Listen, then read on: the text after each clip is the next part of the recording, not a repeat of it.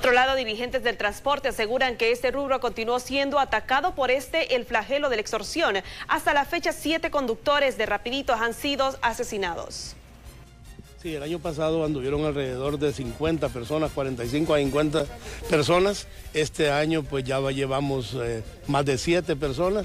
yo creo de que, bueno, para lo que significa para nosotros, ¿verdad? Es un número bastante grande que no debería de existir.